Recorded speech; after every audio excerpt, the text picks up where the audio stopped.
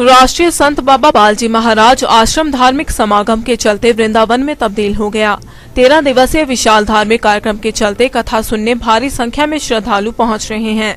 भक्त जहाँ बाबा बालजी महाराज से आशीर्वाद प्राप्त कर रहे हैं, वहीं कथा का रसपान कर अपने आप को कृतार्थ कर रहे हैं।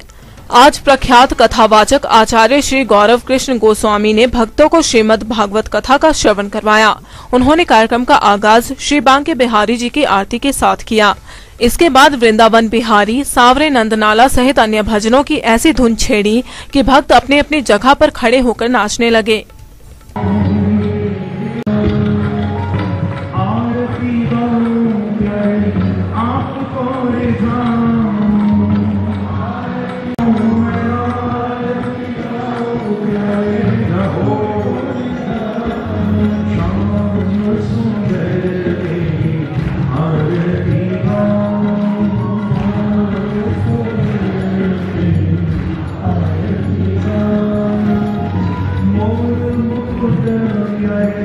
tu cœur.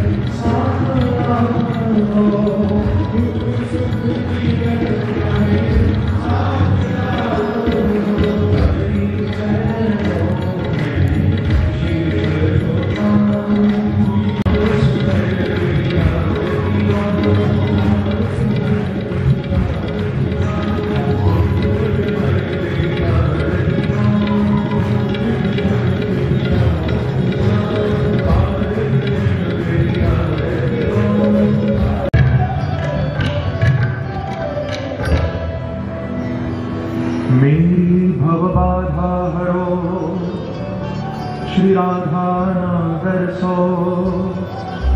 जातन की छाई